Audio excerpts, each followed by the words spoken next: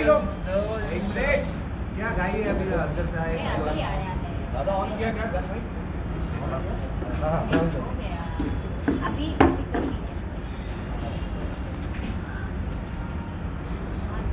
Cordelia cruise drug case में जिस तरह से फर्जीवाड़ा किया गया, लोगों को चिन्हित करके पकड़ा गया फर्जी मामला बनाया गया। आर्यन खान को और लोगों को फंसाया गया। ये सारा जो भी वानखेड़े खेल खेल रहे थे, उसमें केपी गोसावी और मनीष भानुशाली ये सबसे मुख्य भूमिका में थे। जो इन्फॉर्मर था दिल्ली से जिसने कुछ तस्वीरें भेजी थी। कुछ नाम भेजे थे। उन नामों में काशिफ खान का भी नाम था। काशिफ खान की तस्वीर भी केपी गोसावी को शेयर की गई थी। काशिफ खान पोर्ट के ज़रिए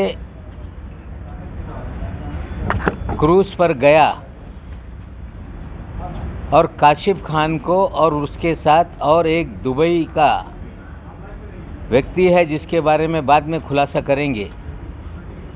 वानखेड़े ने इन लोगों को डिटेन नहीं किया। अगर खबर के आधार पर वानखेड़े ने लोगों को चिन्हित करके अलग करने का काम किया था तो वो काशिफ खान को क्यों नहीं डिटेन किया गया? एक वाइट दुबई नाम का कैरेक्टर है, जिसका हम बाद में ज़िक्र करेंगे आने वाले दिनों में। जो पूरी तरह से ड्रग का खेल देश भर में चलाता है।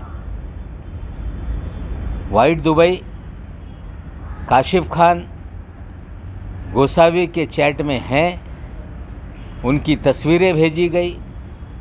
और वानखेड़े ने उन्हें क्रूज पर जाने दिया। दो दिन धड़ल्ले से क्रूज पर ड्रग पार्टी चली। काशिफ खान ने पूरा खेल किया वाइट दुबई ने खेल किया और वापस आने के बाद भी इन लोगों को सेफ़ पैसेज दिया गया। आज हमने सवाल खड़ा किया है, ट्विटर के माध्यम से तस्वीरें डाली हैं। जो इन्फॉर्मर है दिल्ली का, उसका व्हाट्सएप चैट डाला है। केवी गोसाई उस पर लिखा हुआ है। लेकिन कुछ लोग सवाल खड़ा करेंगे कि ये फैब्रिकेटेड ट्वीट है। मैं थोड़ी देर पे ट्विटर पे नंबर के साथ भी वही व्हाट्सएप चैट को रिलीज़ करूँगा। फिर हमारा सवाल है कि वानखड़े जवाब दें कि काशिफ खान से आपका क्या रिश्ता है? तस्वीर के बाद काशिफ खान को आपने क्यों नहीं डिटेन किया? क्यों काशिफ खान क्रूज पर पहुँच गया? क्यों काशिफ खान ने पार्टी वहाँ पे मनाई? वापसी में आपने उसे क्यों नहीं पकड़ा? गोवा में वो बैठा है, उसे क्यों नहीं बुलाया जा रहा है? क्या वो आपका क्या रिश्ता है? आज तक आप गोवा के भी जोनल डायरेक्टर हैं, गोवा में पूरे देश और दुनिया को पता है। कि ड्रग टूरिज़्म बड़े पैमाने पे चलती है। गोवा पे छापेमारी क्यों नहीं होती? काशिफ खान ये वानखेड़े का कलेक्टर है। प्राइवेट आर्मी का मेंबर है। गोवा का पूरा खेल काशिफ खान के ज़रिए चलता है। हमें लगता है कि वानखेड़े को काशिफ खान को लेके बताना पड़ेगा कि क्यों उसे बचाया जा रहा है। अगर वे बचा रहे हैं तो एनसीबी के वरिष्ठ अधिकारियों की ज़िम्मेदारी बनती है कि काशिफ को बुलाएँ। जानकारी लें और उस पर कार्रवाई करें। एक खतरनाक व्यक्ति जो देश में कई मामलों में जिस पे मुकदमे दर्ज हैं, मेरी जानकारी के अनुसार वो एक कोर्ट से भगोड़ा घोषित है और फिर भी देश में एक टीवी, फ़ैशन टीवी का हेड बनकर घूम रहा है, सारा रैकेट चला रहा है और एनसीपी के अधिकारी वानखेड़े उसे क्यों बचा रहे हैं, ये जवाब वानखेड़े को देना होगा।